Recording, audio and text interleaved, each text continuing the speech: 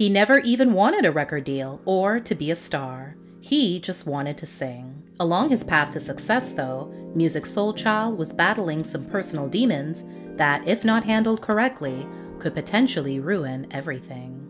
American singer songwriter Taalib Johnson, professionally known as Musiq Soulchild or simply Musiq, was born in Philadelphia, Pennsylvania. When he was a very young child, Musiq developed blindness in one eye from a freak accident. He does have some peripheral vision, but the incident severely damaged the retina. Fans will know that Musiq always wears dark glasses, and the reason wasn't known for years until he finally revealed what really happened in 2011. When I was mad young, my uncle was trying to feed me, and I was mad rebellious. I wanted to feed myself, and he was like, nah. And he was trying to take the fork away from me. So he was feeding me, and I wouldn't let go. So his hand slipped and jerked back into my eye. His musical education growing up came from the artists that his father liked to listen to, such as Donny Hathaway, James Brown, Parliament Funkadelic, and Sly and the Family Stone. In his youth, he built a reputation for being musically gifted, which is where he got the name Musiq, after people constantly referred to him as the Music Boy. He would begin getting attention for his talent around the age of 9, and by 16, he would start writing his own songs.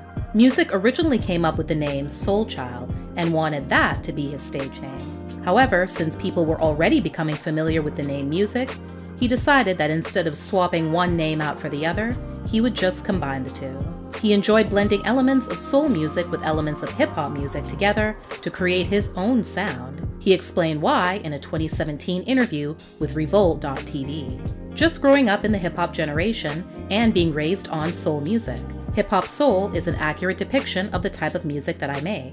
I feel like if you just call it R&B, you're robbing yourself of the full experience. All you're going to look for are all the R&B songs. Yeah, I make R&B music, but that's not all you're going to get from my music. I'm basically a rapper, but I sing. Musiq's teenage years were not ideal. He dropped out of high school to pursue his passion, left his parents' home, and ended up homeless for a time. He would go around Philly and get in on every open mic night he could. While making his rounds, Musiq would run into many other R&B and soul artists on the come up as well, such as Bilal, Kindred the Family Soul, and Jill Scott. He eventually made his way over to DJ Jazzy Jeff's recording studio and started laying down some tracks, some of which would end up on his first album, even though that wasn't the plan.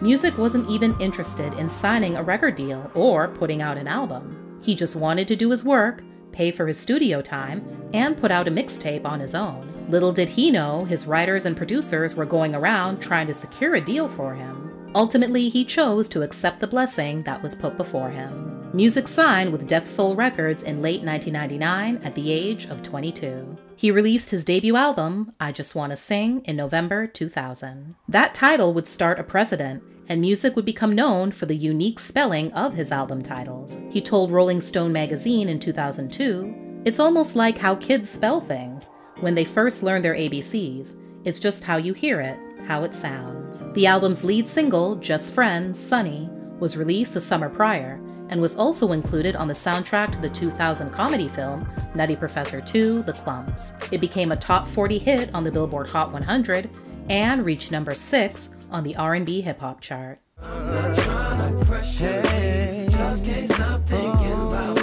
The album's second single, Love, did even better, climbing all the way to number 2 on the R&B hip hop chart. What many people don't know is that album most likely would have never happened if Musiq hadn't gotten his life together after a major bout with alcoholism. Things got so bad that at one point, he had a nervous breakdown and became hospitalized. He made a promise to God that if he got him out of the situation, he would put an end to his destructive lifestyle. Musiq did recover, and he did keep his promise. Musiq's success streak continued with his second album, Just Listen, released in May 2002. It debuted at number 1 on the Billboard Albums chart and the R&B Hip Hop Album chart. It also went platinum, just like his debut. He quickly followed up again with the release of his third album, Soul Star, which went gold. Musiq then took a break for several years, changed management and record labels from Def Soul to Atlantic. That's not the whole story, though. Musiq ended up at Atlantic in a trade of sorts between him and rapper Fabolous, after one of Def Soul's execs left and finessed a way for Musiq to come with him.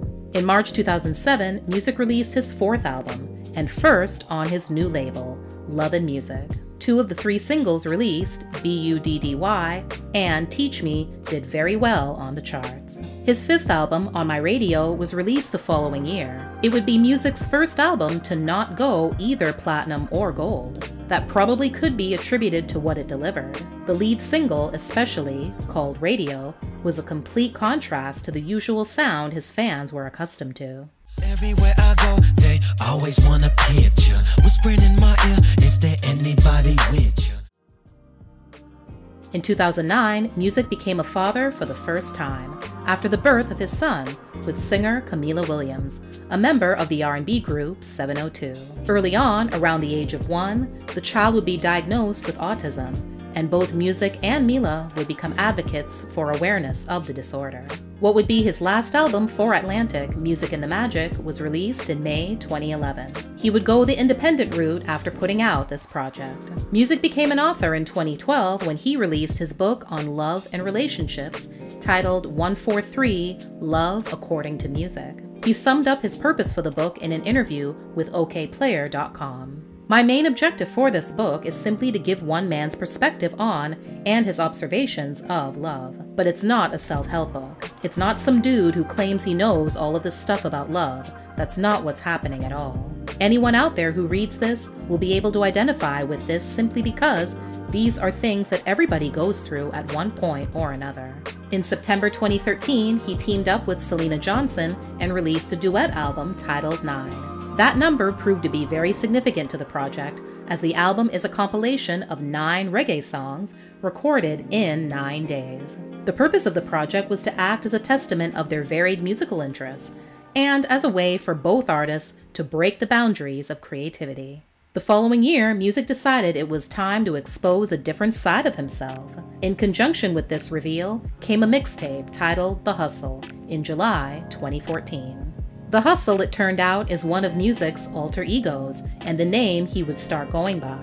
Also, with the name change, mixtape, and an EP a year later, he also began donning a black leather crown and covered half of his face with a scarf. Fans were confused and annoyed, and as a result, Musiq would start to receive a lot of backlash. He made the rounds to explain his decision, including one brutal interview with New York radio station Power 105.1 morning show, The Breakfast Club, where he went back and forth with Charlemagne the God, who flat out said that he wasn't interested and didn't respect the change. Since people started referring to him as an auto-tune rapper, he maintained that he didn't want to be seen as a rapper, nor was he trying to be one. He also admitted in an interview with ThisIs50.com that a big part of the motivation for putting out the Hustle album was that he wasn't getting any love anymore as Musiq Soulchild. Now, what inspired you to do the, Hustle album? Um, because Musiq Soulchild wasn't getting that many shows as it used to no more because R&B ain't popping like that. I'm just keeping it real. At one point, Musiq claimed that he still considered the change a win even if people didn't understand or agree with it. However, the new name and look wouldn't last, and he would eventually go back to being Musiq. But not before launching yet another persona the following year named Purple Wondaluv. Again, along with the new name came new music in the form of an EP titled the Eternal Peace EP. Also around this time, Musiq Hustle Purple also created his own record label called Soulstar Music Company.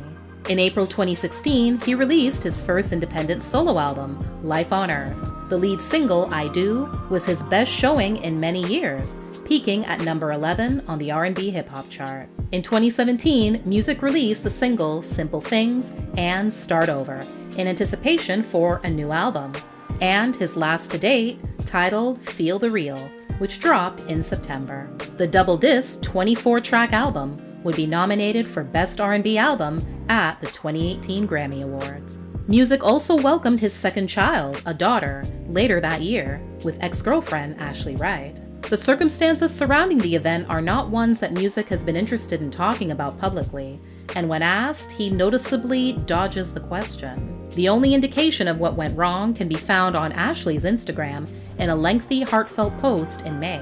Prior to that, she gushed about her love for Musiq and their growing family, which also included Ashley's other daughter from a previous relationship. In 2018, Musiq became part of an ensemble when he put together the hip hop soul group Lumi Trice. The trio had already collaborated for years, so officially forming a group was a no brainer.